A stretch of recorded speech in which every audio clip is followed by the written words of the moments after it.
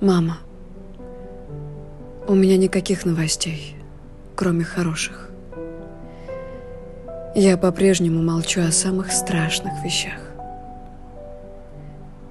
Я молчу обо всем, что меня тревожит.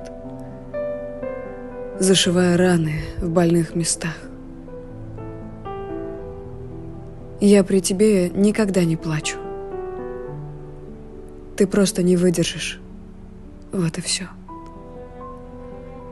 Ты не стена, за которой я прячусь. Ты что-то хрупкое, как стекло.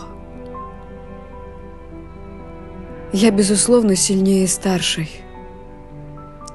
Девочка с волей и сердцем льва. Мама. Нет ничего ужасней. Знать, что все я смогу сама. Меня, конечно же, предавали. Но раз мне больно, тебе больней. Поэтому, мама, они не врали. У меня ничего, кроме положительных новостей.